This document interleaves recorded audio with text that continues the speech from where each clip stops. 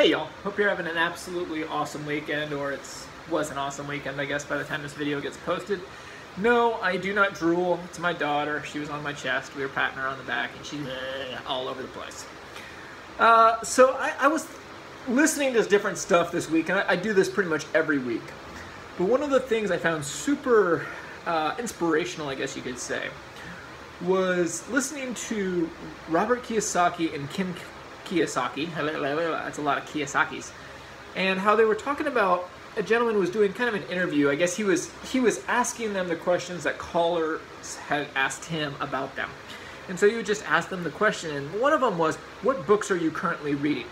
And they didn't hesitate. It wasn't like, "Oh, well, we slowed down our reading, we stopped learning, we stopped focusing on improving every day." They literally gave them, him book after book after book that they're working on, they're in, or that they're gonna read soon. And not only that, they talked about the top two books that they would recommend that they have read recently. And I don't remember the names of the books, so I'm not going to bother saying that. This interview, I believe, happened, uh, let's say Thursday, maybe Wednesday. So I'm sure if you Googled it or YouTubed it, you could find it. But one of the books they were talking about was it was like having the perfect morning or something like that. And they were talking about how it had influenced them. In fact, Robert had been working on following the book's uh, philosophies now for three weeks straight, and Kim was like at two weeks straight. So we're talking, these are guys that are leading the example by reading still to this day, learning from what the books have to say, applying it to their lives, and that is their lifestyle. This isn't something that you're having some random Joe preach to you on the phone or, you know, whatever, this, you know, a video. It's actually people, the successful people, this is what they do.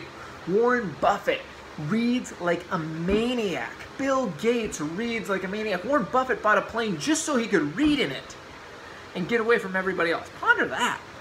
Tai Lopez brags about reading a book every single day. That is the successful people. Those are the people that are going places in this world and solving the world's problems because they're constantly trying to learn, constantly trying to grow, and constantly trying to improve themselves. So, one of the things that they mentioned was that in this morning book, that the thing that they were trying to apply to their own lives, and me, I'm not worth quite the hundreds of millions of dollars that Robert and Kim Kiyosaki are worth. So I decided, hey, you know, if it works for them, maybe it should work for me. Maybe I'll try. And so that's what I've been doing. It started just a couple days ago, and this is how their mornings start off. Meditate. Boom. So you do your meditation. Each one of us has our own definition. Do what works for you. I am the worst meditator in the world. I'm not patient. I don't like sitting there. I don't like singing kumbaya. I don't like humming. I don't like listening to slow music. I don't like any of that. But if it works for Robert and Kim and they're worth a little more than I, maybe I should learn. Just a thought. So that's what I focused on doing. I literally get up in the morning, first thing I do is sit down, relax, meditate. Then you go from that to affirmations. What are you trying to do? What are you improving? How are you going to get to your goals? You can't say, I'm going to be worth a million dollars. What are you going to give to be worth a million dollars? What are you going to do to be worth a million dollars? How much time is it going to take? You have to write that down. And so that's what I do in affirmations. In fact, I will give you an example of what I do. This is this is my own affirmations, what I do. It says I will earn 1 million dollars by January 1st, 2022 by giving 2 hours a day minimum to help others, helping others until I can do it full time, till I can afford to do it full time. I will help millions of people through app development, through companies, or through politics. Now, I don't know what it is for you. Maybe you don't want millions of dollars. Maybe you want your own thing. And I'm not here to tell you what it should be. And I'm telling you 100% it shouldn't be exactly what mine is. It needs to be what you work on. It needs to be the time frame you need to be working on. It needs to be your goals. But once you start pounding that into your head and repeating it over and over and over, your brain starts working. Hey, hey, hey. 010122, that's coming up pretty soon. How do we get there? What do we got to do?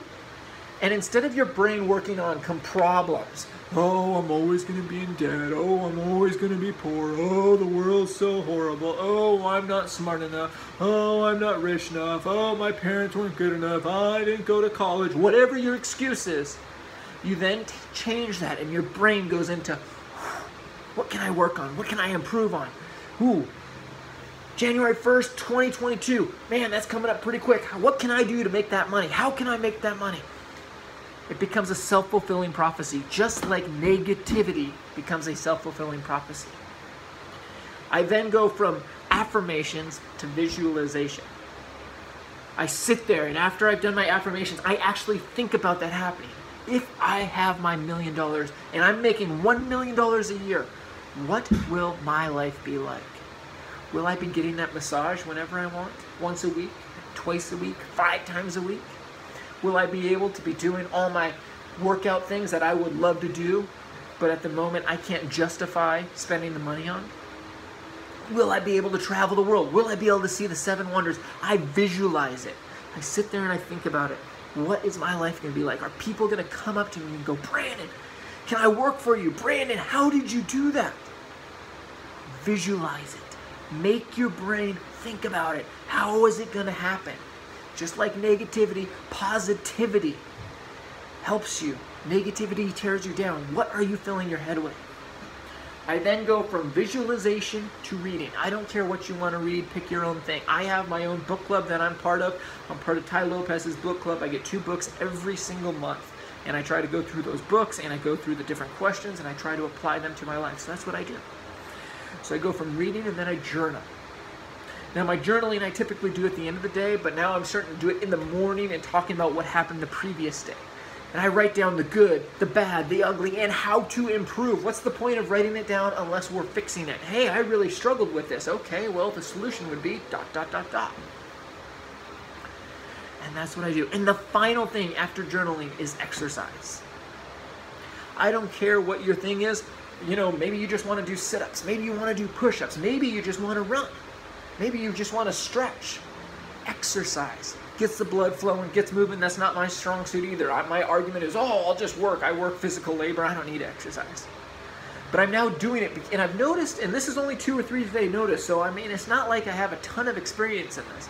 But already I've noticed that it seems like it gets the brain working way more awake. Like I do this stuff first thing in the morning. This is all like the first thing I do when I get up is I do all these things I'm listening to you. And it seems like the exercise, after you're doing all that, your brain's thinking positive thoughts and you get that blood flowing, you're doing some push-ups, you're doing whatever you're gonna do. And it seems like your whole body's activated at this point. You're no longer like, for me, it was like, okay, it's two hours, I'm gonna grind before I go to work. But now it's like, my brain's working. I'm not like oh, falling asleep while I'm trying to read. And so I found it to be super helpful. So anyway, those are what I'm working on. And if you're not working on yourself, tell me. And I, I, I'm just asking yourself to ask, look at yourself in the mirror.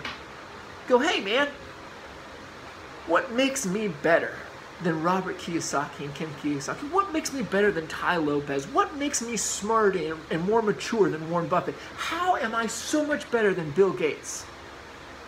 If you're not working on yourself and not improving yourself and trying to. I mean, we all say, oh, well, I'm trying to work myself. I'm trying to quit smoking. I'm trying to cut my diet. I'm trying to not. No. We either are or we aren't.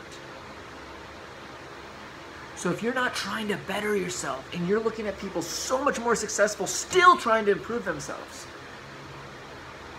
who are we to say we're really trying to get better? Who are we to try to say we're trying to live a successful life, to try to make money, to try to live a fulfilled life, whether it involves money or not? We're hypocritical if we're not actually trying to improve ourselves.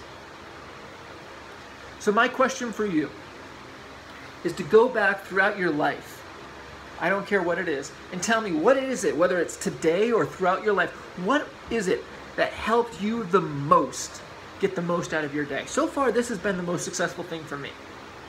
Starting this way, it's somewhere, it takes somewhere between 15 minutes and an hour, and I, I do it according to how much I have booked the rest of the day.